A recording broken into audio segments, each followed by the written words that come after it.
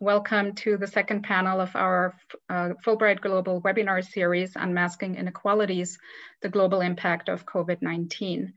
My name is Susanne Hamscha. I'm the Regional Diversity Coordinator for Fulbright in Europe and Eurasia.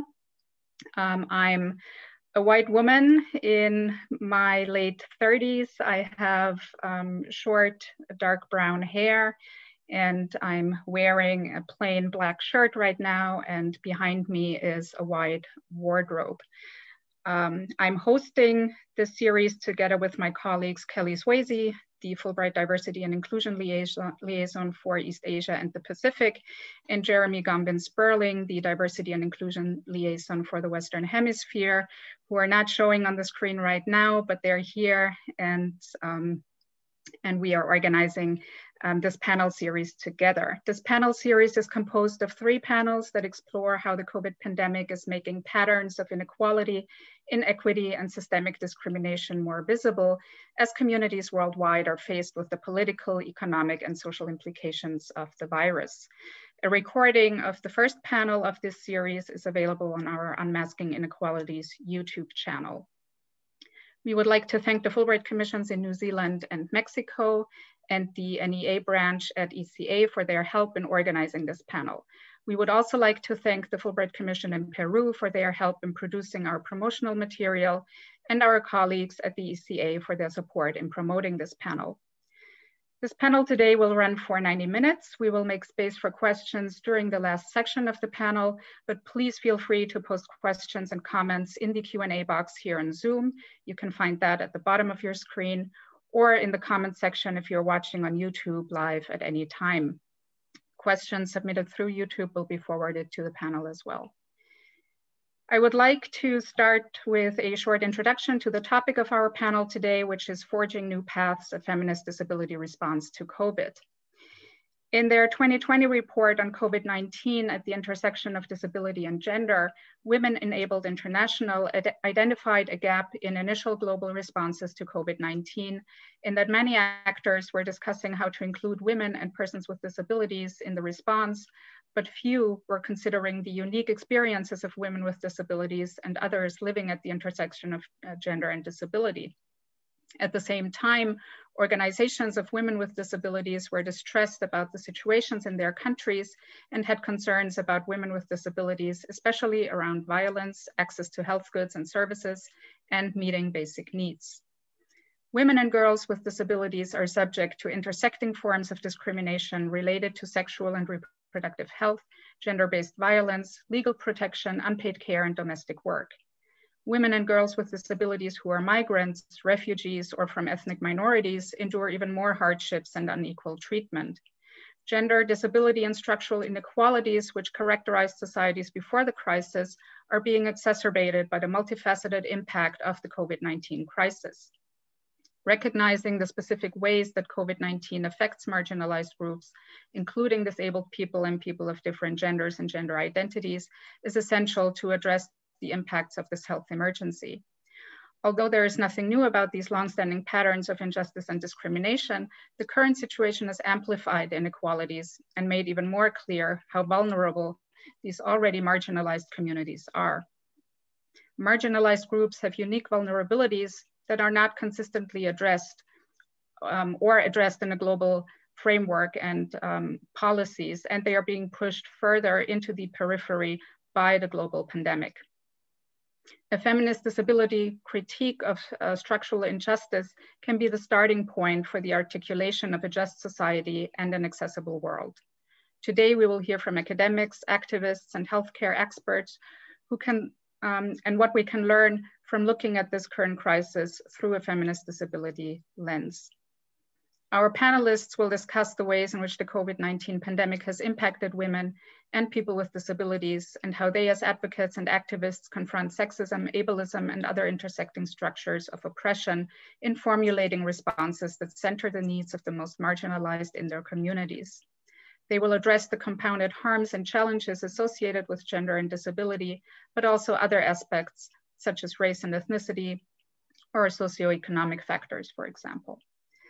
Their work and experience provides evidence that the most marginalized and vulnerable populations need to be involved in the planning and implementation of government and healthcare responses to COVID-19 if we want to build societies that are just and environments that are accessible and inclusive for all.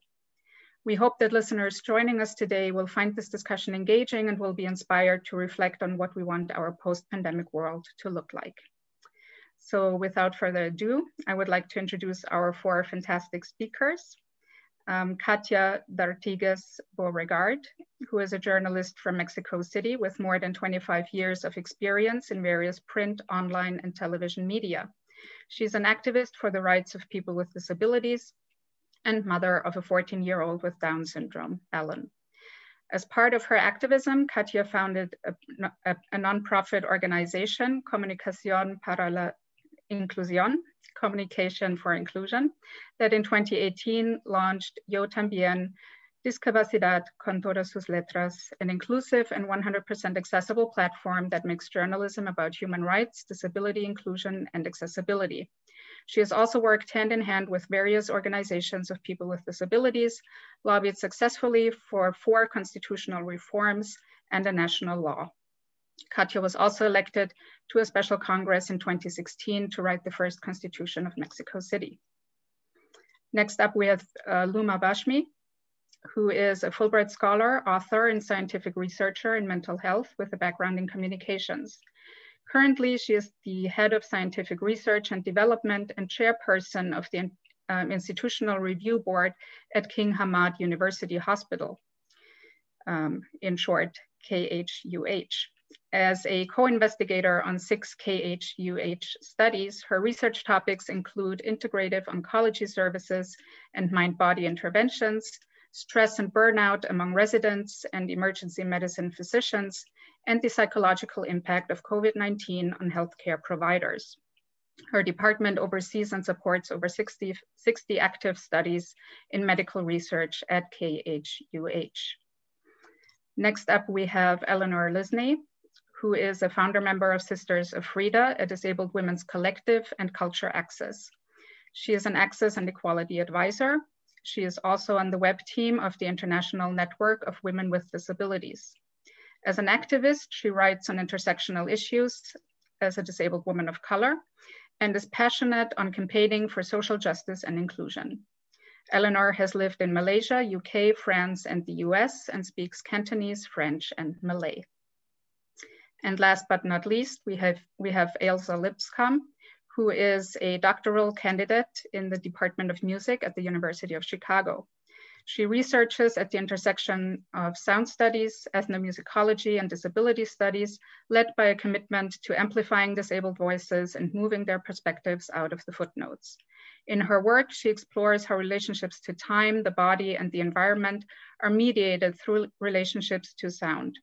Her dissertation, titled Echoes of Silence and Pain, Listening to Viral Acoustemologies, analyzes the sonic profiles of medicalized spaces during the pandemic era and the myriad embodied ways disabled individuals and communities interpret sound and silence.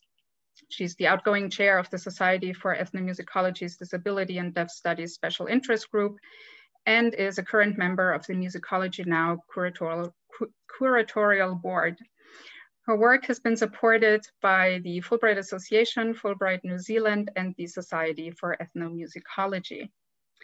So thank you all for um, being here today.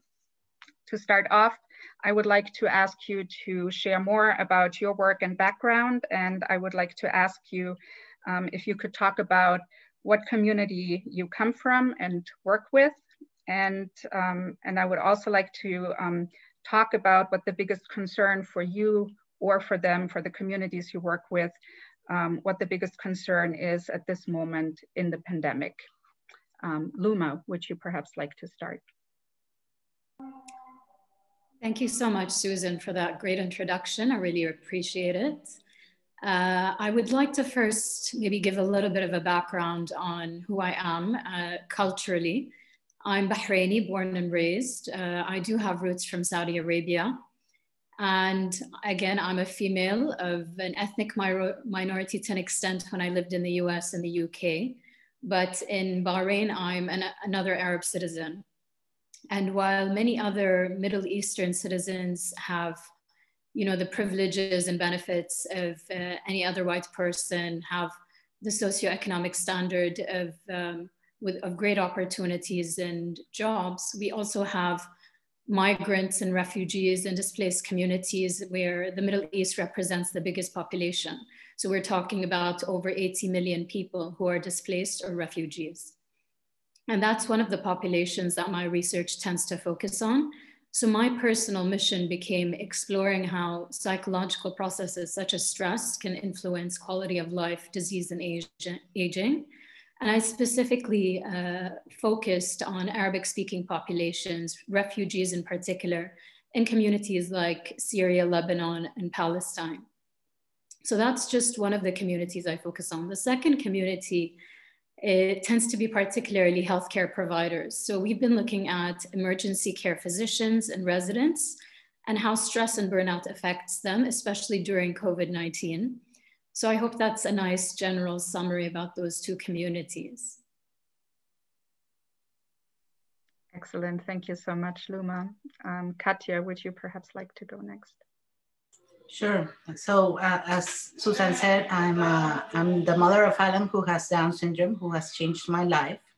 I was a journalist prior to his being born, but since he was born, I'm obsessed with, um, with the mission of, of taking disability issues to a much greater scene level. No? So I do journalism about disability inclusion, accessibility, um, there is a, a, bar that has to be raised a lot because we usually in Mexico forget people with disability. They are so invisible, no?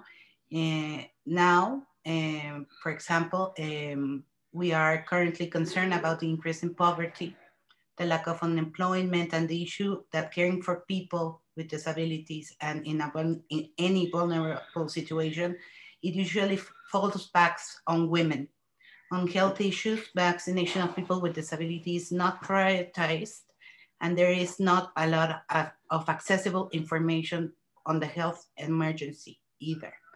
So that's one of the things I've been working on these past year, almost a year, no, making sure that information is accessible. I did um, a 60 year, no, 60 day long uh, small capsule, news capsule that was 100% accessible. Half of the screen was divided uh, with an interpreter of language language. The other part was made for my, myself or my colleague from Yo Tambien, that we are both journalists. And we made a, a small uh, resume of the day. Uh, and we had also subtitles. And of course, it was all spoken for blind people to, if we, we put on a graph, we described it and so on. It was hugely successful. We had 80 million reproductions and it made the case that accessible information is good for all. Thank you so much, Katia. Um, Ailsa, would you like to go next? Kia ora, everyone. My name is Ailsa. Um, I am a queer, disabled, and chronically ill woman from New Zealand living in Chicago. Um, I am white in my mid 20s. I'm wearing a teal shirt with small black hearts, and behind me is a white wall. To my left is my wedding bouquet, and to my right is a snapshot of the night sky and a neon sign that says Kia ora love, which means hello love or welcome love in Maori. I am a PhD candidate at the University of Chicago. And so I work within academic communities as an educator, a researcher, and also as a disability advocate. And in these communities, one of the biggest concerns I have right now is the lack of disabled voices in conversations about COVID 19 frequently in these conversations, what I'm witnessing is that disabled lives are used to either reassure non disabled populations, such as when assessing risk factors, or they're used as a warning for what non disabled populations um, don't wish to become, such as encouraging people to avoid certain behaviors in case they were to become disabled or unwell. In both cases, the actual perspectives of disabled individuals and communities are forgotten and, and made inaudible. And one of the things about this dynamic that most interests me is how this lack of disabled voices ultimately constructs narratives about pandemic experiences that harm disabled communities, while also misrepresenting certain pandemic experiences as universal. For instance, I'm sure many of you have heard talk about this being an unprecedented time or experiencing a new world. But when we do that, we actually ignore how disabled communities have been practicing quarantining, masking, and social isolation for decades because of inaccessible, inhospitable, and unsafe environments. Thank you so much for this. Um, Eleanor, last but not least, would you like to say a couple of words about the communities you work with? Um, I think as th thank you for for for for for um, doing my background, my bio. I can call it that. Um, I'm a woman of East Asian origin, um, Malaysian Chinese. I have black hair, getting gray. I'm wearing glasses, um, black top with a checkered uh, scarf and my background is a bookshelf with books and photographs of my children. Um, I was brought up in Malaysia and I went to the UK to do my undergrads. I got married immediately and we moved to France uh, because of my ex-husband's job. Um, and I was a full-time mother for at least 10 years. Um, then I went off to the States and I did my postgraduate, which was in information studies at Austin. So and then, I came back to the UK. I, I only mentioned that because um, it gives me an experience of being disabled and the kind of the kind of um, reception you get in different countries. I think I have the experience of um, well, obviously being an ethnic minority in England, but also in France, where, where was something that I've never experienced before because my French is terrible. I didn't speak a word of French when I arrived there. And um, how language is important. And I talk about that because of the sort of intersectionality that's important when you're well not just when you're a disabled person but it counts as well as an as as a disabled person Because it's not just the fact that I was disabled, but the fact that I didn't speak French very well. So I was put into the sort of status of like a refugee or an immigrant, you know, even though my ex-husband was a sort of semi-diplomat and worked in a European institution but that's a sort of experience which gives me um, a great understanding of the kind of um, injustice you get, not just because you're disabled, but the compound um, injustice you get when you have other um, vulnerability or whatever you want to call it. Uh, in, in the UK, I work with obviously the uh, disabled people's organizations, um, my own Sisters of Frida, uh, which I founded, co-founded, uh, was because we realized there was a gap between women, disabled women and disabled people's organizations. Um, women organizations do, not often recognize disability and disabled people's organizations do not recognize the issues that disabled women have as, as, as, a, as the sort of gender issue. Um, so we've been going for well, a few years and we've been with um, a company, UK women's organizations to Geneva for um, CEDAW and uh, the Commission for the Status of Women in New York. Um, and uh, so in short, we kind of work internationally, nationally, and locally. Um, at the moment, we're, we're running a project on uh, independent living and as with a focus on disabled women. What does independent living mean to disabled women? Um, as for myself, locally in my own borough in London, I am working on co-production with the council, which is the Council of Greenwich, on uh, working together on strategy and, and best methods um, of um, for all sorts of things with, with disabled people. Because um, as in everywhere in the world they want to have cuts um, cuts in care packages etc so that that that is part of what we do. And uh, yeah of, of course we're also in touch with the um, umbrella groups of disabled people's organizations. And uh, I work a lot on access. I, I have a specialization in accessibility and um, disability equality, um, working on what they call EDI, equity, um, diversity, and inclusion for, for funding, uh, funding organizations and stuff.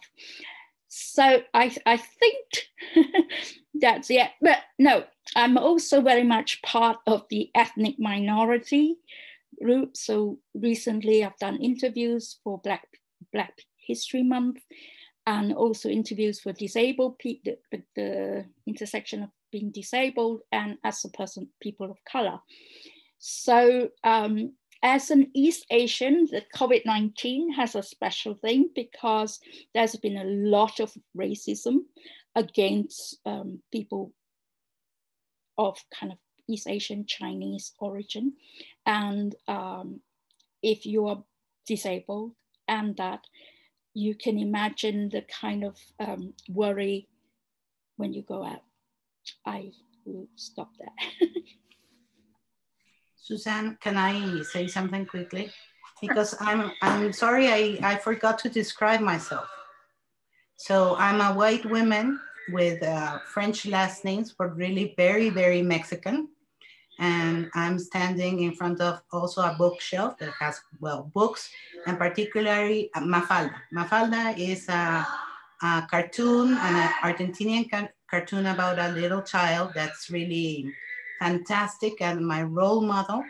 And also I have the word laugh because I want to laugh a lot about things. It's like my my mechanism of defense uh, against everything that happens that it's so well cruel and and everything and also i would like to say that i love lobby a lot of laws at at the well at the chamber of deputies at the senate i'm currently doing two of them and also I'm an advisor to the Mexican Supreme Court of Justice in order to advance in the inclusion of people with disabilities inside and outside.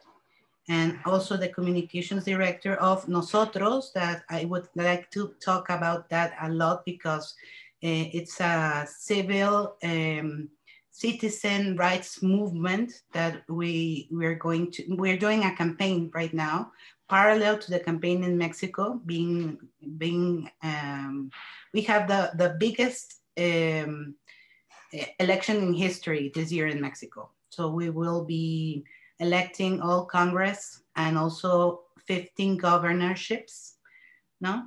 And, and we're doing um, a campaign based on human rights, basic human rights. And also, well, talking a lot about um, of course, uh, vaccination for all, um, medicine for all, um, emergency support, um, and also the, the, the thing about caregiving. Caregiving is very important that it will, it, we want it not to rely on women only and to obligate the state or not to take action on that. Thank you so much. Um, and you know, I'm sure we will we will come back to um, many of the points you raised in your introductory statements um, in the course of this um, discussion or you know conversation. I hope this is going to be a conversational panel. Um, let me um, you know ask you another fairly general question before we move to questions of ableism, disability, sexism, and and gender inequality in more detail. And, um, and that's the question um, regarding um, the links between this global health crisis um, we're, we're experiencing right now and equity and access issues. Um, as I said in, my, said in my introductory remarks, gender disability and structural inequalities have characterized um, societies already before this pandemic, but you know these um, inequalities are being exacerbated by the impact that um, the COVID-19 crisis has had. Um, so what are the links between this global health crisis, equity and access issues um, in your um, professional contexts, in your um, social contexts? Um, Luma, perhaps you would like to start responding to this question.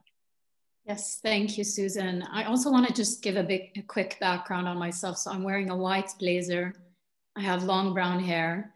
And I have a mishrabiyya, which is a traditional window, Arabic window, as well as in Middle Eastern art painting. Uh, and I also co-founded and now direct Ila Beirut, which is an initiative to provide free mental health care for women, men, young children, as well as members of the LGBT plus communities and refugee communities, following the August 2020 uh, explosion in Lebanon. So with an international network of 25 mental health care providers, to date, we've helped over 20 people receive support for trauma and other stressors related to COVID, as well as economic crisis, warfare, displacement, and resettlement in Beirut specifically. So to cover your question, uh, Susanne, I think there are several marginalized communities that we have really discussed and talked about, but I'll cover a few from the aspect of my research. The first is ethnic minorities. The second is people or refugees affected by war, conflict, and displacement. And the third is healthcare providers and frontline workers. So I think it's important to point out that COVID-19 exposed a lot of weaknesses in the healthcare systems around the world. And in particular, ethnic minorities with racism cases being documented more than ever in the United States and worldwide, it's really important for us to cover it. So we need to highlight uh, what other aspects in which racism has negatively affected people's quality of life. And it's no surprise that ethnic health disparities come along quite often, especially amongst African Americans, uh, Latinos, and people from Native American backgrounds, as well as other ethnic minorities like Arabs. So when it does, what it does is trickle down to health too. And some of the research points to how African Americans, Latinos, and ethnic minorities were hit hardest by COVID 19. So, an African American is more likely to catch the virus, 2.4 times more likely, and 2.4 more likely times to die than white people, and 2.2 times more likely to, die, to be affected and die than Asians and Latinos. So, what are uh, ethnic health disparities? I just want to define that for our audience. So that means differences in health outcomes that occur because of ethnicity, but it's also due to higher risk, socioeconomic disadvantages, and discriminations that are unjust and avoidable. So let me just give a context. And I tend to speak using references of the US and UK, but I will come back to the Middle East. So, for example, in the US in 1899, you had the infant mortality rates were almost twice as high among blacks as they were among whites. And now it's almost 2.2 times higher. And people tend to ask, is it really that bad? Are they really that affected?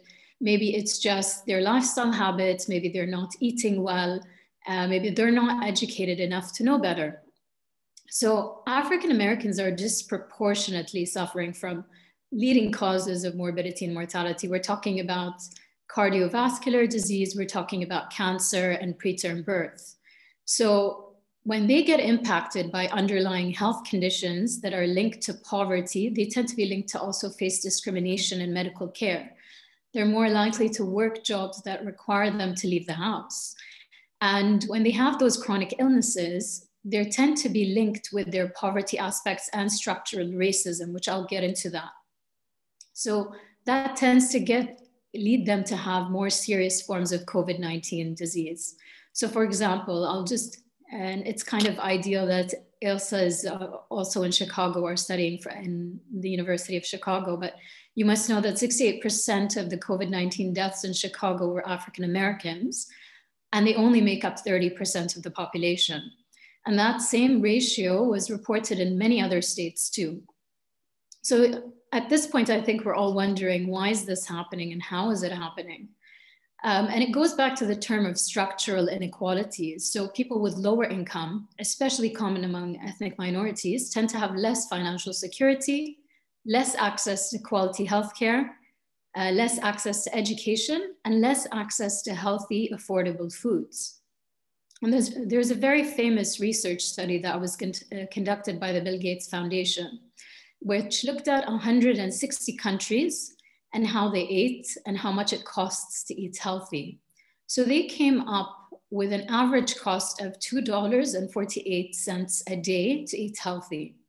But they also realized that that exceeded household per capita income for at least 1.58 billion people. So while we say that we have around what 8 billion people around the world, at least two of those 2 billion of those can't afford to eat healthy. And we all know that nutrition is a big aspect of maintaining a healthy um, attitude, quality of life, and just uh, physical health.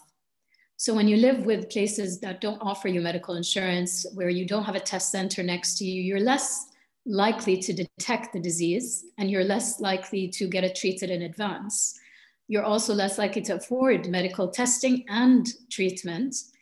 And there are other aspects. So it's not just physical access, you also have psychological aspects to it. So, for example, African Americans and other ethnic minorities, and I'm talking worldwide as well, tend to think that their symptoms are not believed as much by professionals or don't get adequately treated by a professional.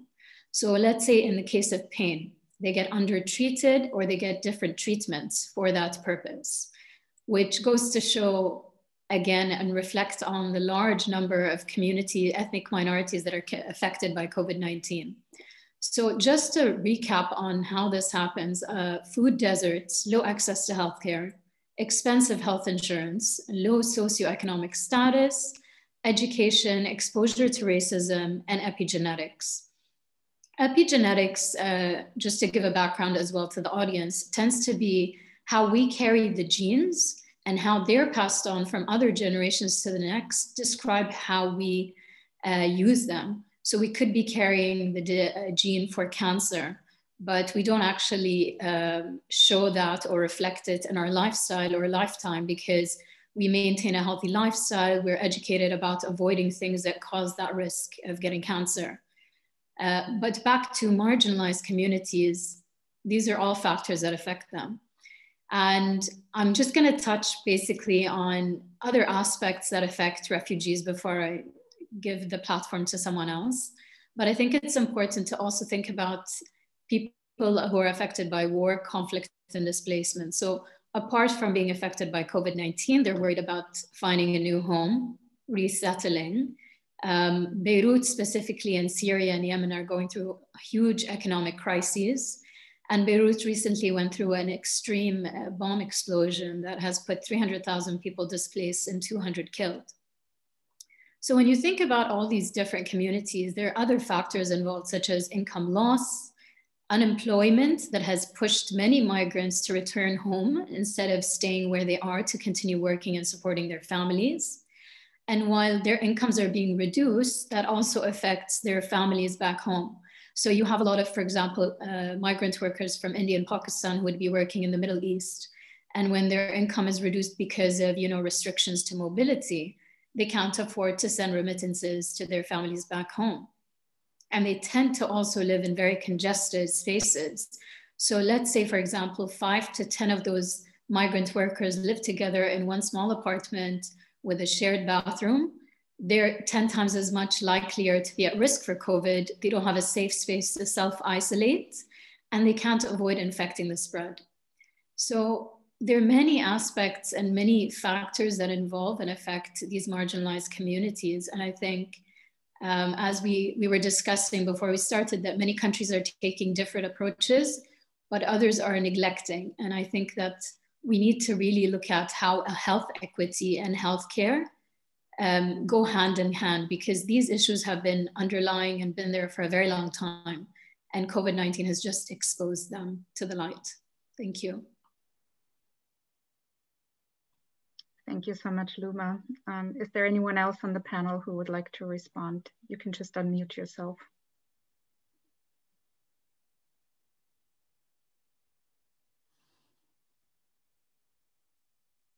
Going to give you a second. Um, if not, I would uh, like to move to sort of the, the next section um, regarding ableism and, and, gender inequality more specifically. Um, and, you know, Luma has raised um, a couple of really important points in, in her remarks um, just now. And again, you know, I think a lot of this um, we will come back to in this next sort of block of questions. Um, and the, uh, the first question that I would like to pose to this panel regards, again, sort of the, the clinical and public health context.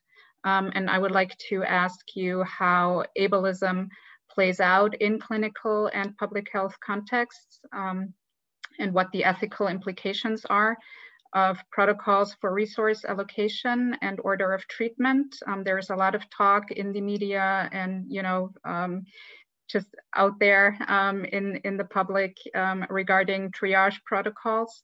Um, so I would like to pose this question to the panel and um, ask Elsa perhaps to respond to this question first. Thank you, Susanne. I think this is such an important question to be talking about and to be highlighting. And it, specifically because echoing what um, the opening remarks on this panel discussed, Ableism within clinical and public health context didn't suddenly appear at the onset of COVID 19. Disabled and chronically ill communities have faced centuries of discrimination within healthcare contexts that are then being exasperated during this current moment. And examples of this are um, disabled populations being denied treatment or denied a voice when creating treatment plans or constructing illness narratives but they've also been asked or forced to toe this line between being sick enough that they are considered worthy of receiving care, but not so sick that they're then considered a lost cause or unworthy investing within. And these ableist attitudes don't exist in isolation. It's important to talk about the ways that they play out within a network of intersectional identities. So we are homophobic, racist, fatphobic, classist, and sexist attitudes intersect with ableist attitudes to establish protocols that then devalue disabled lives. They also inspire various attitudes about certain bodies and diagnoses that are then taught both implicitly and explicitly in classrooms and labs and used within textbooks. And all of this then we can trace within it how discriminatory practices and attitudes become normalized and standardized within healthcare contexts. You may have seen that throughout the COVID 19 pandemic, there's been talk of what's called IC eugenics, which is an amalgamation of the ICU, so the intensive care unit, and eugenics protocols. And what we're seeing is that disabled individuals or parents of disabled children are being asked to surrender their personal medical equipment that keeps them alive and improves quality of life, or asked to sign DNRs, so do not resuscitate orders, in order to then prioritize saving non-disabled lives. And in these in like situations and scenarios, when it comes to types of resource allocation and crisis triaging, what it often comes down to is a question of which lives are considered worth saving. And when this question is asked, behind it, I think there's a slightly different question, but that's worth naming, which is which lives are considered worth living? Because when determining who to save, implicitly under the surface are discussions about which life would be more productive within a capitalist society and what types of lives are considered worthy or full and disabled lives do not fare well within this formulation and within these discussions. Thank you so much, Elsa. Um, is there anyone who would like to respond to Elsa's remarks immediately? Yes, yes. I want to echo eh, a lot of things that Elsa has said because I, I see it on a daily basis in my work. Um, I think uh, this pandemic has been a magnifying glass for pre-existing in, inequalities. And of course, if, if you want to see it, it's a very great important uh, um, opportunity for for empathy because yes people with disabilities have lived in lockdown and they have been excluded from i don't know how much time no? Uh, and in mexico it's very hard to raise awareness of this because i'm very envious of, of the, all the data luma has. We do not have that data we do not know if, if people with disabilities have, uh, well, we, we suppose, but we don't know because they don't ask or register if a person who has COVID-19 and who has died of COVID-19 has a disability or doesn't have a disability. But it, it's also in, in, everyday life in Congress, just to give you one example. There, we are currently lobbying uh, at the Senate for a reform that will provide more resources for shelters to protect women who are victims of violence. Most of them are not accessible, and there is a bylaw, for instance, that established that when a woman with a psychosocial disability requires services, she will immediately re be referred to a psychiatric center. When she was originally looking for support, they respond with greater violence. The regular response for women experiencing violence is to call a phone number. What about the deaf women who claim their right to speak Mexican language? In Mexico, there is a slogan regarding violence against women. You are not alone, and I'm quoting it, no? But in the case of women with disabilities, this is not true. They are very, very much alone. Even now, the Mexican government recently passed a law that can be still stopped by the Senate, and we're adv advocating for it, because they have merged mental health services and programs to prevent addictions in the same area as an effort to reduce costs in, instead of investing more in the subject. We believe that they are absolutely different things that should be treated differently. The proposal, for, for example, validates involuntary hospitalization and treatment for people with psychosocial disabilities institutions in institutions without informed consent this is like basic human rights, no? And also we are very concerned about the burnout of caregivers, people that care for the daily needs of people with disabilities, who are usually mothers and women, who are their nurses without training or payment. Many of them also have had to quit their jobs in order to take care of the person in the family that needs it, and it reduces the income of a family who needs more resources and not less.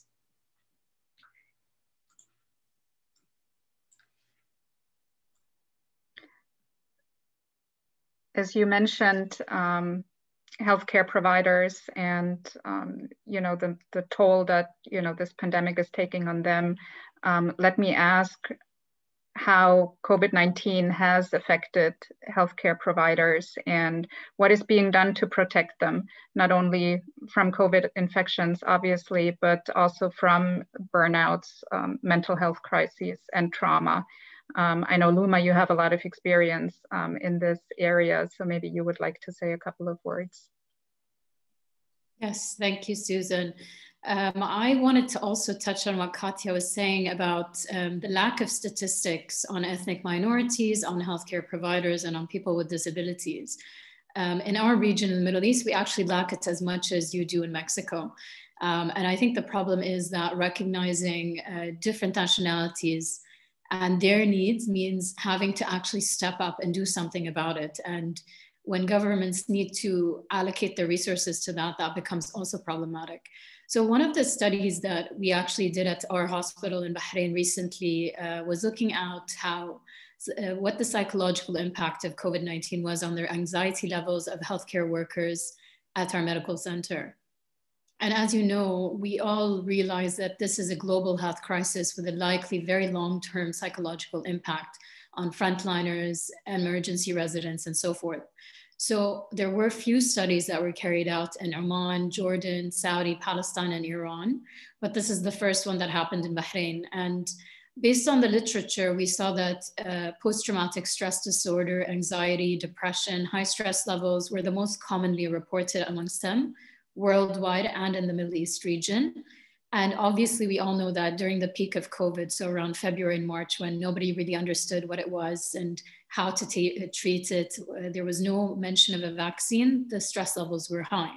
However, we did our study in July and August of 2020, and we're repeating the study um, currently just to compare how those uh, differences are in anxiety levels and stress. And our study had a self-report survey. We measured both anxiety and impact of events scale, which means the level of potential post-traumatic stress disorder or PTSD. So the results we came about is that around 19% of healthcare workers reported mild to positive PTSD, and around 31% reported mild to severe anxiety. But those who were younger, aged 20 to 29, those who were single, and those who had sleep related disturbances were more likely to have higher anxiety levels and PTSD. Uh, those who were smokers and those who also underwent quarantine, whether or not they were at risk for COVID, were more likely to report higher levels of anxiety. And when you think about it, these factors can uh, imply or affect and relate to any uh, individual from a mar marginalized community. So some of the significant predictors we saw of psychological distress was actually sleep disturbances and or whether or not you actually were infected by COVID-19, as well as being young and being a smoker. But again, going back to your question, Susanne, of how can we actually do, what can we do to protect those healthcare providers, not just from infection, but from burnout, mental health, and uh, mental health crises and stress? Um, we noticed that overall our results were slightly lower than the rest of the healthcare workers in China, Europe, and the US. And when we explored it further in our hospital, we found a few explanations that may have been attributed to that reason. So the first was we actually provided ready access to psychological support services to the healthcare workers. So that meant that they were being received, appreciated, and acknowledged for their efforts. Uh, they had a psychological support hotline that they could access at any time that their leaders or bosses were unaware of. So they could do it in anonymity and confidentially. And they were always provided with the latest updates and facts on COVID 19 regularly through online weekly lectures that we would host, email circulars, and making sure that they would have informed decisions when dealing with challenging situations. Again, we also worked closely with the Bahrain National Task Force for combating the coronavirus. So we had best practice protocols and guidelines which were developed and updated on a regular basis. While I'm saying it wasn't always perfect, I think we had very strict lockdown measures that were very much just recently loosened up within after eight to nine months and to this day we do go back and forth with, with restrictions but i feel that a lot of it came from having community buy-in and building trust with the community to listen to the government about those restrictions. Um, other countries like the uae and france actually have gifted frontline workers with citizenships or golden visas as well as setting up uh, solid shift systems that resemble ed units or emergency units just to make sure that the timing is offered to make sure that they're well rested. And many programs like uh, the Oman residency program offer wellness programs for their staff just to make sure that they are catered to and that they're given mandatory leave as well as guidance and counseling. So those are just some of the findings that we explored during this time.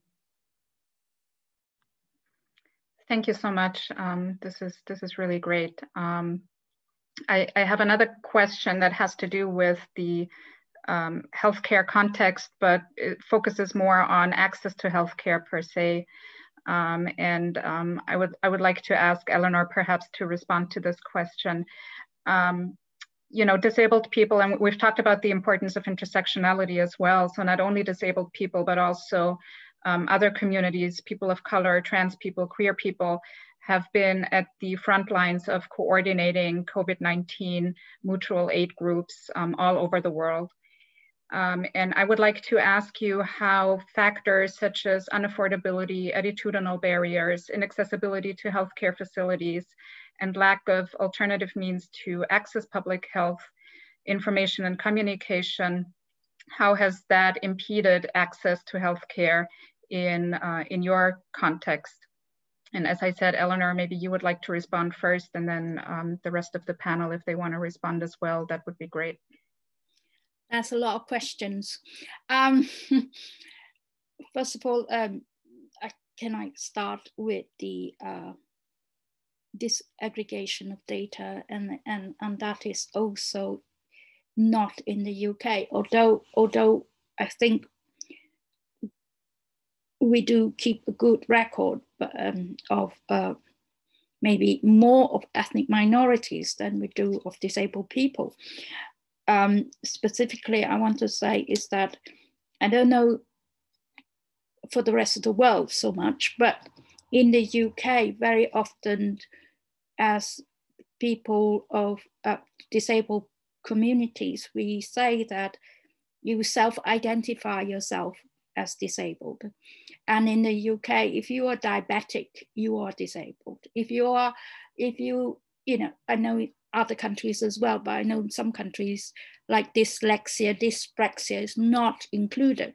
So I think all those kind of things makes makes a difference when it comes to data. You know, um, I wanted to talk about um, uh, earlier on. Um, Luma talked about healthcare people. Um, because of that, I can say that healthcare people in the UK, a lot of them are done by uh, are, are, done. Uh, uh, the workers are of ethnic minorities, like Filipinos, for example, or, or from the Indian um, continent, and and you can't just sort of separate healthcare professionals and disabled people because a lot of people who are unofficial carers or healthcare professionals may also be disabled. So that's where the sort of intersectionality comes in, because when we, we talk about disability in the UK, we're very much pan impairment. So includes the psychosocial, the men, people with mental health, older women, older people, you know, etc. Um, where COVID-19 is concerned, and I, th I think this uh, webinar is also about feminism, um, I can add a note that it's harder for women to access healthcare. For example, smear tests, for example, you know, sort of tests for cancer and stuff like that because of inaccessible healthcare. Um, because they, the, the, the hospital, it, the, the facilities are not accessible. So um, there's been a report in the newspapers that uh, a lot of uh, disabled women were missed out. Um, there is an, another thing um, which is um, a campaign led by one of my friends, very strongly about letting personal assistance uh, in hospitals. So because of COVID-19, the um, medical facilities have said that you cannot take a personal assistant or a carer. Uh, I think I think you call them care, something care in America, I can't remember now, caretaker. Yeah, um, you can't take one with you to hospital. But on the other hand, the nurses are too busy to attend to you. If you can't eat food yourself, if you can't move, you know, what, how are you going to do it? So there was a huge kind of campaign, and I, I think they they have allowed um, um, helpers into the hospital. And this includes husbands and includes, you know, I have friends, non-disabled friends who, you know, went into hospital to give birth and their husbands were not allowed to go with them. And they were left to fend with the babies on their own. So um, those are sort of uh, feminist issues. And but added to that for people in the uk there's the added complication of brexit which means that a lot of personal assistants people who help disabled people, uh, you know, with care packages and things, come from Eastern Europe. And they were not, um, there was, a, there's a problem because Eastern Europeans were suddenly, you know, they have, they can't stay. So what do you do when, you know, if, if, if all your care is being taken, is being done by Eastern Europeans, what are you going to do? You know, it's not the, the trouble with it, it's it's hard enough to hire somebody, a caretaker, a personal assistant. But when COVID is, it's even more difficult.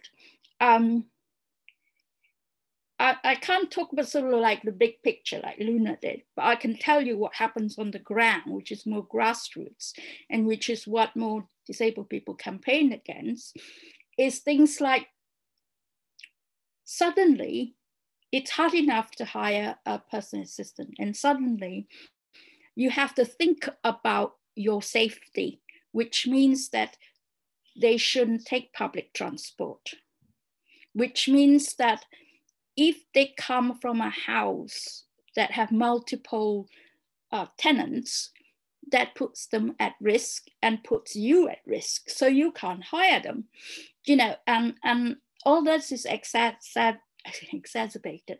So what, what, what do you do? How can you, you know, and without care, how are you going to do anything? You know, it's like going shopping. It's like preparing food. You know, we, we talk, um, I think, is it Luma who spoke about eating healthily? We're not even talking about eating healthily. We're just talking about being able to eat, not because you haven't got money, because you can't access the food because it's away in the supermarket. You can't get there because you don't have somebody to help you to go and get there and then prepare the food. You know, this is the sort of things that happen. And um, when it comes to, okay, the sort of feminism thing, is that people still expect women to be able to cook. They still expect women to have all this um, sort of feminine jobs like caretaking for children like you know and and and cooking and things. Um, so there is a huge impact on disabled mothers. Um, suddenly um, they can't even have the maybe small amount of time that they can when they have babysitters or you know um, they take it to a childcare facility. They can't have that. And if they're of a low social economic um, status they might have a very small flat a very small apartment. And they have those children all the time with them now. And added to that um, i think somebody mentioned violence against women there's domestic violence. And in the case of domestic violence, it's very often that non disabled men get custody of the children. And if domestic abuse happens, the social worker don't all is not always aware. They they they this is ableism. They think that a non-disabled person is more likely to, to is more capable of, of childcare. So, you know, it happens. And so what happens is the, the person, the woman who has domestic abuse does not report it because they know the risk that they have that their children might be taken away from them.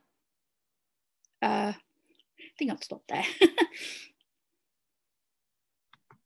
Thank you so much, Eleanor. Um, yeah, um, I, I don't even know how to how to respond to everything you just said. Um, very, very powerful. Um, is there anyone else who would like to respond or react to Eleanor's comments?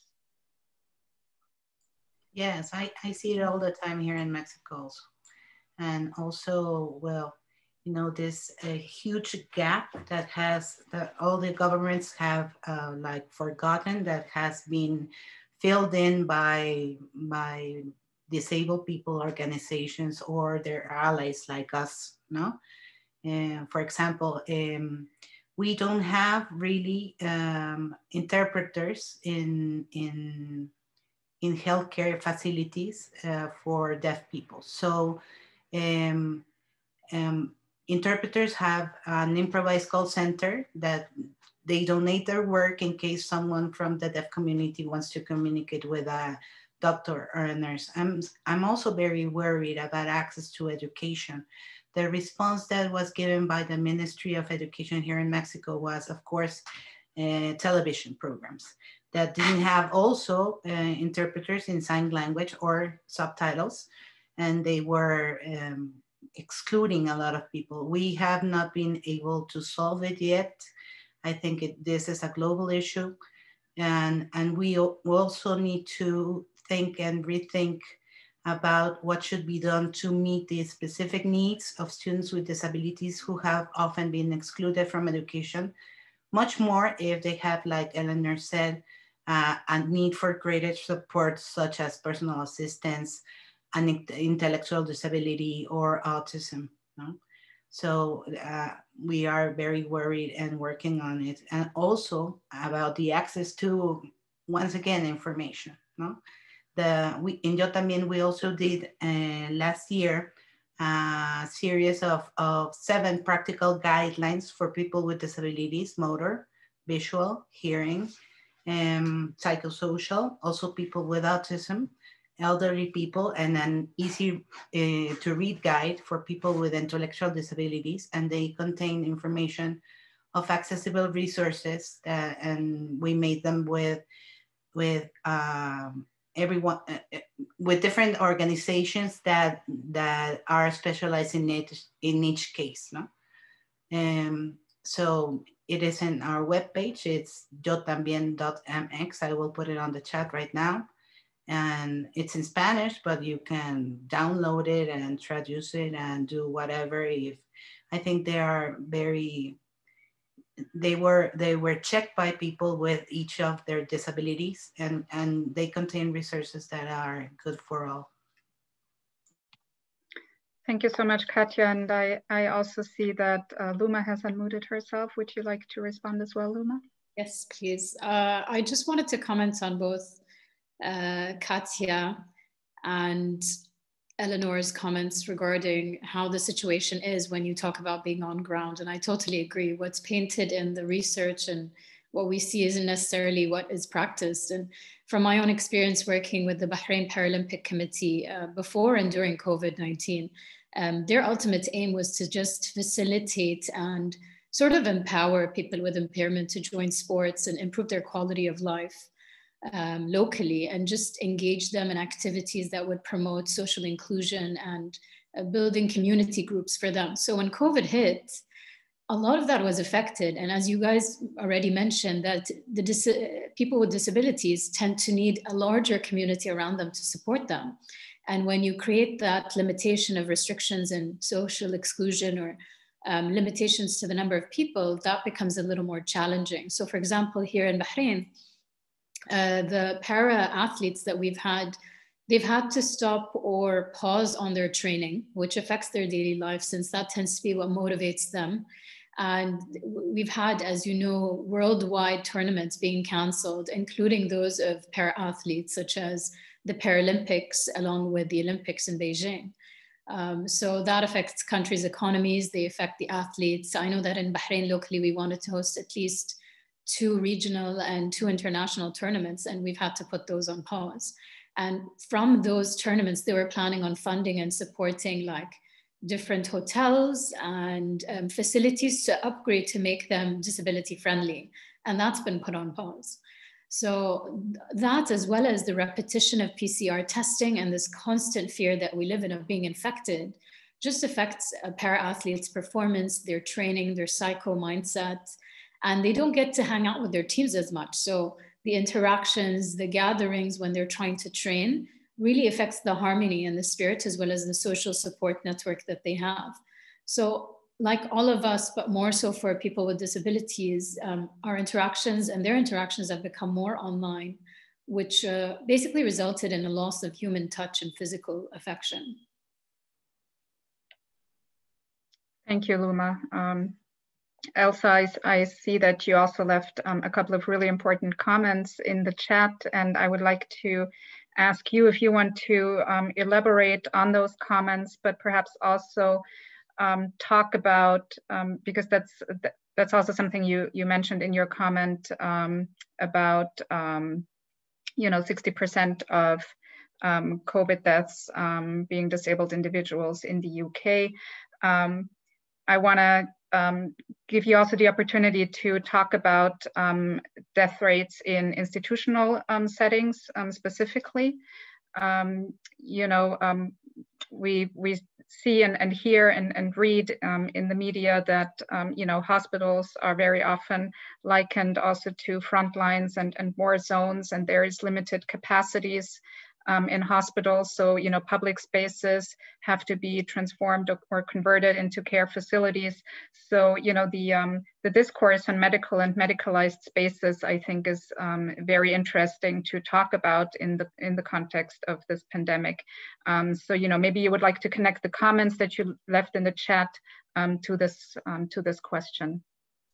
Thank you. Um, so what I wrote in the chat for those who that may be inaccessible to was that this dynamic that Eleanor was describing that then the other panelists have kind of jumped off of is also another way in which we can understand and witness how restrictions and shelter in place directives are often constructed or implemented with a normate or a normative body and life in mind, which means that the particularities of disabled lives, particularly in how they are constructed intradependently, means that they are not taken into consideration when these strict lockdowns or measures go into place.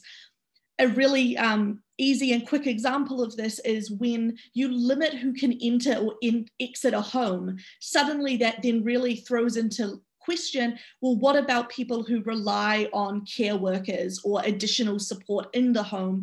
And then the risk that that poses with those people being itinerant or transitory, working in multiple different homes, and then coming into um, vulnerable populations' homes, yet without that care, they're left without necessary supports. Um, but this question of the death rate, so I noted in the chat that 60% of individuals who have died in the UK from COVID uh, identified as disabled. And yet, what we're really seeing is that there's a discrepancy between who this is disproportionately affecting and then who the various like vaccine distribution efforts are being directed towards. And we can see, especially here within the United States, there is a lack of attention being given to the distribution of vaccines to disabled individuals particularly in the construction of high risk being associated with over 65 years. There's almost this ignorance or lack of awareness of how you can be high risk and young, and this just assumption that if you were to uh, offer the vaccine to older populations, it's a catch all and covers vulnerable populations at the same time. And yet we just know that a huge portion of people who are disabled or live with comorbidities or chronic illnesses that make them at higher risk are under the age of 65. And yet, in states like California, they are being told that the rollout of vaccines will be done purely on age now, with none of the factors of um, comorbidity taken into consideration. Um, and this question of medicalization, what I find really interesting about it is that it actually gestures towards and speaks to the types of changes that we should be thinking about in a post COVID world. Once COVID, the kind of like immediacy of it has dissipated or been controlled, the ways in which we now talk about medical facilities and understand medical facilities are not going to suddenly disappear. The changes that have taken place, the associations and meanings that have become associated with these spaces won't simply revert back to a pre-COVID state at you know the point at which all restrictions are lifted in my own research, I have been identifying and observing a process that I refer to as the medicalization of the everyday, whereby traditionally non medical spaces and environments have become associated with or saturated by behaviors and sights and sounds that have historically been more tied to traditional medical facilities. And by that, I'm talking about like doctors' clinics, hospital wards, emergency rooms, places like that. And this is occurring in a number of different ways. We're seeing, for instance, the transformation of public spaces such as parking garages, churches, and stadiums and convention centres being transformed into hospitals, COVID testing centres, and now we're also seeing vaccination clinics in those sites. And as an ethnomusicologist, I also think a lot about this in terms of the sounds we're exposed to and the frequency with which we hear them, such as encountering the sights and sounds of medical environments, such as alarm bells in our homes through news media and at home medical monitoring due to the overrunning of hospital facilities. So being sent home and asked to monitor your O2 levels and your stats instead of remaining within a medical facility to do so. And this has been further exasperated by everyday sounds being um, associated and taking on newly medicalized meanings.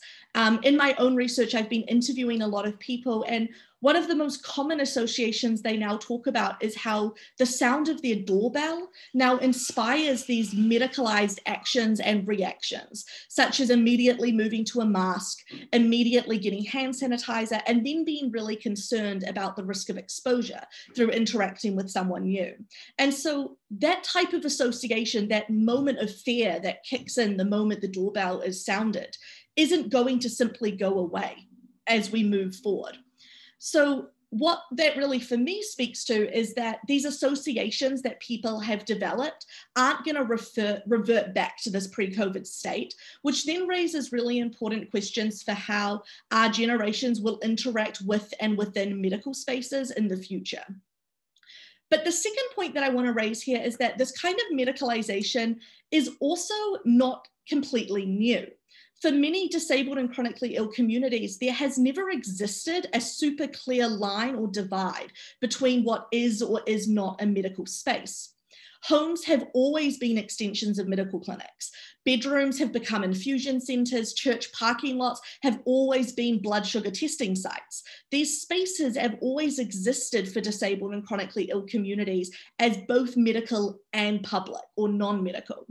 And so it also comes back once again to an earlier point that I raised, which is how dominant narratives of the pandemic erase disabled experiences, but also could benefit and profit from learning from the disabled experience and understanding the long term repercussions of this moment in our history. Sorry, I just want to tell uh, uh, Elsa that I nodded all the time that you talked. I think we were we were all nodding. Um, no, but thank you so much, Elsa, and you know, thank you also for uh, mentioning how important it is that we also um, try to look ahead. And you know, we have, I think, 10 to 15 minutes to now, um, you know, talk about the future and um, how we envision a, po a post-pandemic world. And um, you know, I, I, would like to return to the very um, topic of this panel, and that is the feminist disability lens uh, through which we can look at COVID-19 and ask you um, on the panel how, first of all, a feminist disability response uh, to COVID-19 could inform um, the building of resilience against future emergencies, um, but then obviously also just in general, what can be our takeaways? What can we learn from looking at, at this specific pandemic through a um, feminist disability lens? Um, and maybe Katia, um, you would like to go first. Oh, sure. I, I would like to call for a major interaction of, of organized um, groups of people with uh, disability and also other minorities that have been excluded. I think we have to make a front, a better front in order to represent all of us much better. Um, and, and I would also like to, to, to tell you a little bit about the campaign that we're launching, that we launched last uh, Sunday that's called, it's a citizen movement called Nosotros. That means us, no? Not you, not me, not them, us, all of us, no? And that, that would be the translation. And we launched a campaign last Sunday that would run parallel to the elections um, that I, I, I, said at the beginning of, of the webinar that are the biggest ones in history in Mexico. In, nos, in Nosotros, our campaign is designed to promote five axes with punctual demands in this pandemic and beyond, no? To empower citizens in order for them to demand in front of all the candidates and the future governments. And one of our slogans is that we want life to be, to be just possible. No? And the five axes are, of course, medicines for all and COVID vaccines. They also, they have not prioritized in Mexico, as Alisa, said, and also Eleanor, I think uh, that people with disabilities particularly I know this very well because I'm a mother of a, of a teenager with Down syndrome, do have more risk of, of getting COVID and dying about it, no? Um, and we're making, uh, you know, letters to the Secretary of Health and raising awareness in the media. It's been hard. The second act is an emergency living income for people who are unemployed or who now work more and earn less. The third one is um, the issue of caring for people that should not fall back only on women. The fourth is decent work, especially focused on people who work on digital platforms and domestic work workers. Here in Mexico, uh, there are 2 million women, particularly, that do domestic work, that they do not have social services at all or contracts or anything, no? And five, the culture of peace to avoid political polarizations that are putting democracies all over the world in danger. No? Nosotros is, um, it, it was born four years ago and is represented in almost all the states in Mexico, which are 32, and trains people to know their rights and defend them. We say that together, all together, we can better demand these and, and and these from who are responsible of giving them, no? Thank you so much. And, you know, obviously I would also like to give the other panelists a chance to respond, but perhaps um, already tied us to my next question, which regards um, some of the um, practical steps that can be taken, concrete steps that can be taken, practical changes we can make um, to promote access, whether that's to healthcare, um, but also education, information institutions in, in your specific region. We also have a question from the audience that um, kind of, you know, ties into this question, which um, we will get to in a moment, but maybe just, you know, first in, in general, um, what are some of the steps that we can take um, to, to promote access? Um, Luma, maybe you would like to address this from your perspective, and then we will give the rest of the panel a chance to also respond. Thank you, Susan. Uh, I think that's a really important question. And we tend to, when we say practical changes, a lot of people think this will be challenging. We need to hold stakeholders and government institutions accountable. And in this case, I think there, it's multi-fronted. So the first, I think, and I think many of us on the panel have mentioned this, is transparency and sharing the data and statistics on marginalized communities who are affected. So we tend to not hear about uh, ethnic minorities, refugees, people with disabilities, and displaced people and how they've been affected by the pandemic. So, disease wise, job loss wise, mortality, morbidity, whether they have the help they need, whether they're getting vaccinated. If we get more stats on this, that will inform us on how to function best and move forward. And next, I think I remember reading um, a bit of research on how females, Latinos, and Blacks were the most likely to lose their jobs during the pandemic. But that's because women were reporting it to organizations so that they could get the information out there. So it tends to be that grassroots communities are the ones putting the word out and informing the public. And then again, going with um, reports of how ethnic communities, people with impairment, the data tends to be very low. So I think identifying key stakeholders and holding them accountable is important. And I'm talking about not just government officials about sharing, being transparent, but also um, having international agencies agree that, for example, schools, hospitals, community groups, uh, places of worship and religion all play a part in informing and also being responsible. And what does that look like for us? Um, I think education, which can be very lacking for people with disabilities and refugees, is a big one. So offering communities or spaces that we can reuse. So for example, conference halls or um, big university spaces and hospitals that can be reused as outdoor spaces to maintain this, whether it's for testing sites, vaccination sites, that would make a huge difference in protecting and maintaining their healthcare and giving them access as well as information. Um, on an individual basis, we actually always downplay what we can do. Uh, I'm not speaking about the panel because they have such amazing accomplishments and it's an honor to speak with them. But I think for the rest of us who always wonder, like, how can I help? It's as small as just wearing a mask, maintaining social distancing, trying to avoid attending gatherings that are larger than five or six unless you live in a home and really present and report your uh, symptoms if you have them and get vaccinated if it's possible for you. I know that all countries offer vaccinations, but in the Middle East, in parts of Europe, they're offering it um, full time for free in some instances. And so when people question the validity of a vaccine, I think they need to understand the science behind a model of a vaccine and that it's been tested for decades. And um, we're actually more likely to be affected in a negative way if we get COVID versus actually getting the vaccine. So it's our duty as people who are able, in a sense, like even though I have a chronic disease, I'm still consider myself able. And I took the vaccine because I know that I was protecting those who can't take it. And that way we can protect them in the long term and make that faster. And I would just want to comment briefly on Bahrain as well, and it's being a having a very diverse society. So we have uh, Jews, Muslims, Christians, we have people from Southeast Asia, from Europe, from America, um, and Europe, and all parts of the world. And I think that one of the things that were so effective about the COVID 19 vaccine campaign and lockdown was how they communicated and how they bought in and engaged with the community. So they used um, vacant schools, training organizations, and conference halls to used as testing sites. They translated all their content about lockdown information, just general COVID 19 info and regulations, as well as how to get vaccinated in as many languages as possible.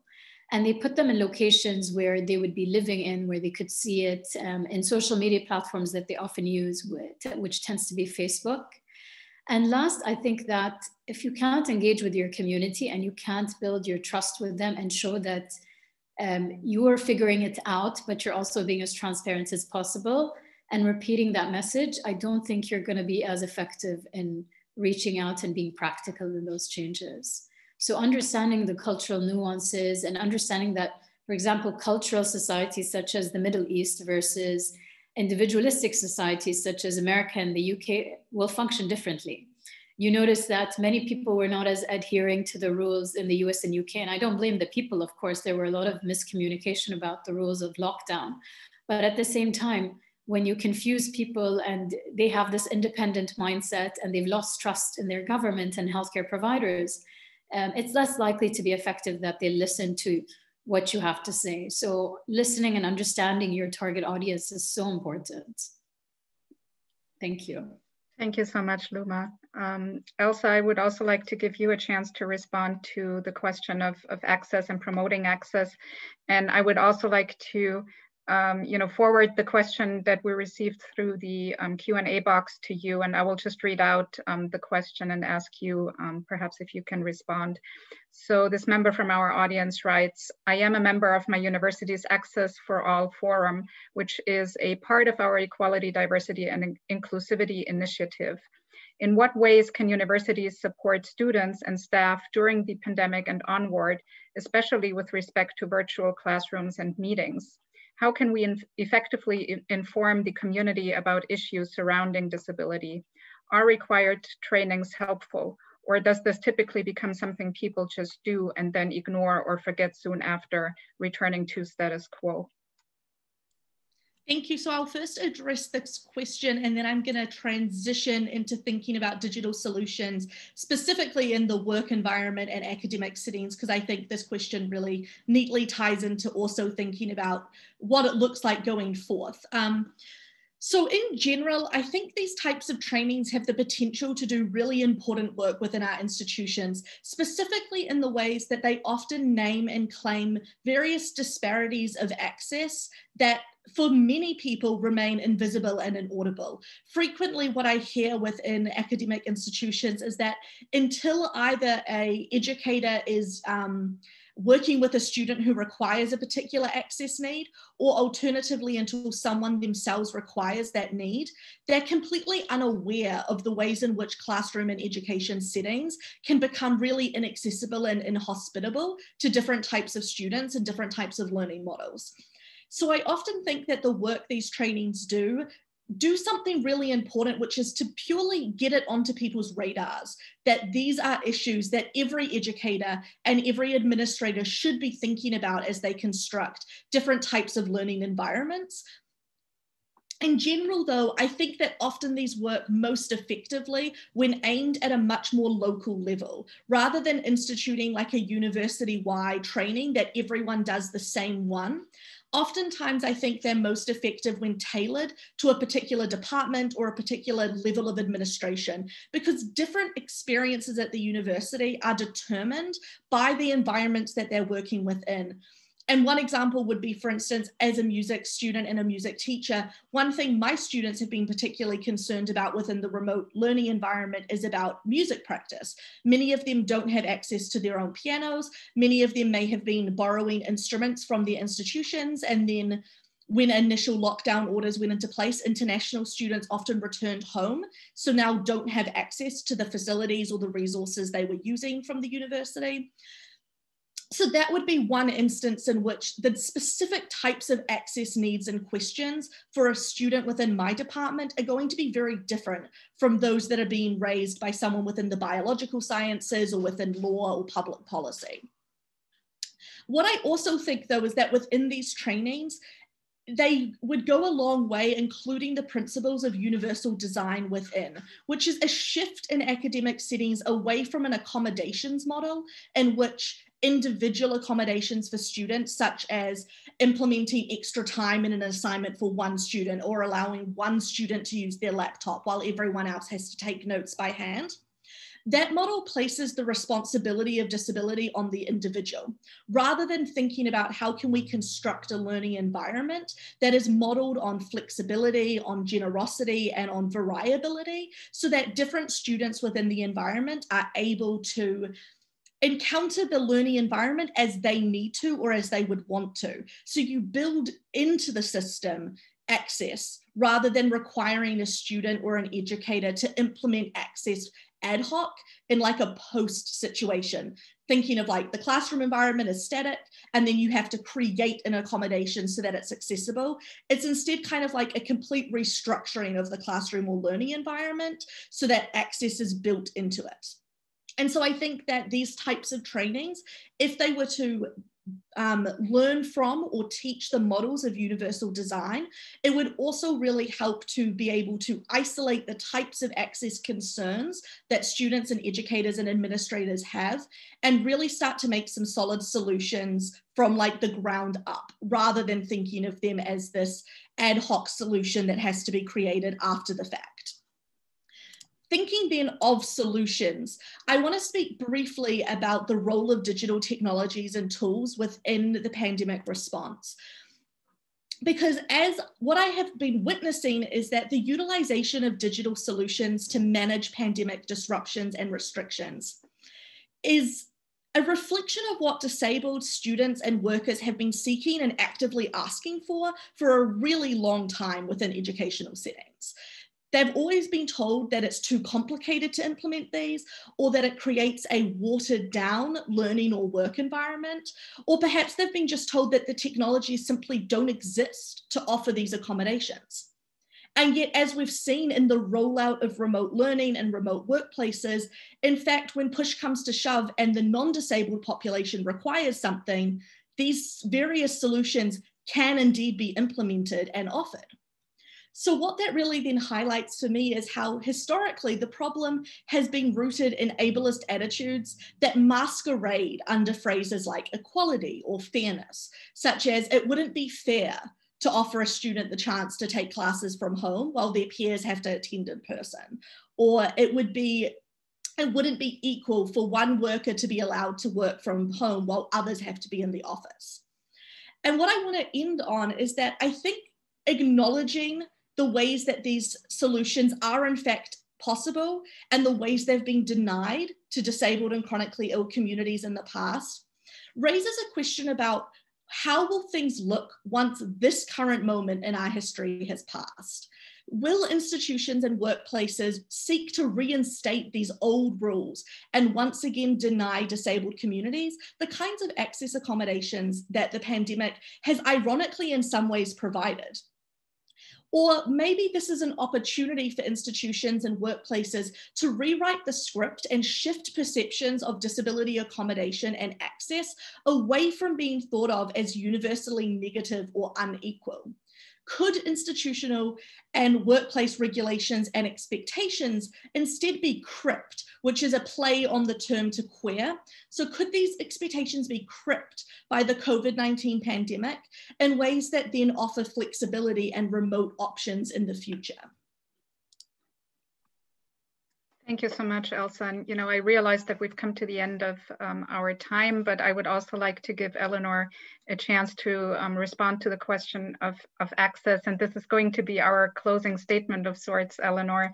Um, but maybe you can say a couple of words about, um, you know, access from, from your perspective and um, perhaps also um, talk about how disabled people can be empowered to be actors of change in a post-pandemic world. Uh, I was just thinking, uh, Alisa was talking about access for students, and that is very important. And I know here, um, a woman called Zara Baines have created a Twitter forum specifically for uh, PhD students because it's a very uh, isolating experience. And I think that's one way. Um, when it comes to digital access, um, accessibility has an, though it solves a lot of kind of physical uh, barriers, um, I have learned from my neurodiverse uh, disabled friends that things like Zoom is not always accessible for them. And we have to learn about how to make those um, digital, so, so-called digital solutions to be accessible for all. Uh, for example, this was a 19-minute um, um, webinar. Now, if I was designing this, I hope you don't mind, Susanne. If I say, if I was designing this, I would, I would have breaks, um, comfort breaks, because you know we we all need that um, i think whether disabled neurodiverse or whatever. So you know those that sort of things need to be built in and i am just still learning about that because when people mention access they usually mean you know like a braille or um, uh, a, a sign language or you know etc etc so how do you get more disabled people or disabled women? One of the things we do is we we have training sessions um, in teaching people how to be public speakers you know how how to how to just gain confidence in demanding your access rights.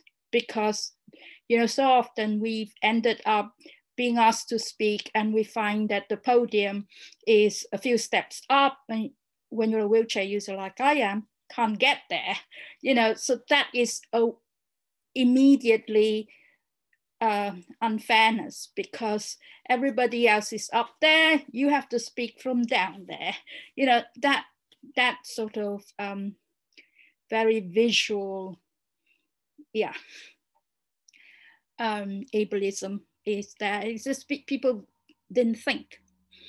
Um, in, in the UK, we often talk about um, disabled people in parliament, in local politics, etc. That's not always been the case so easy because we need uh, we need more help in like delivering letters and all that sort of stuff. So there was a fund earlier on, but uh, I think the government has stopped that. So we need more, maybe we need more disabled people in politics.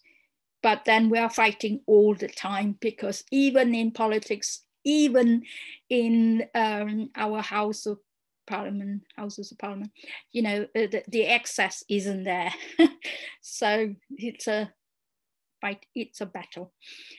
Um, shall I finish there? Because I think we're over time. it's a, it's a battle is a, is a good closing statement. It's a battle, but we'll continue to fight. Um, so thank you again to all of our speakers, Luma, Elsa, Katia, and Eleanor for, um, for being here today and sharing your experiences, your expertise, and your insights with us. Um, I would like to remind everyone that we will have um, another panel, um, the third panel of this series coming up in April of this year on Indigenous pathways in the time of COVID. And we will make sure that we will keep everyone who registered for this webinar um, posted on, um, on the webinar in April. Um, this panel was recorded and will be put up on YouTube shortly.